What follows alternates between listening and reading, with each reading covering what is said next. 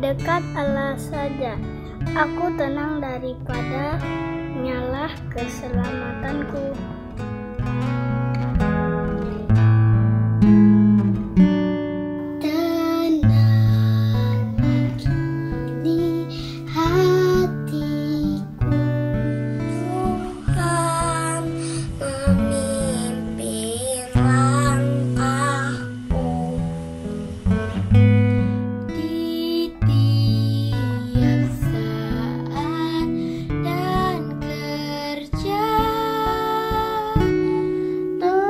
Bye.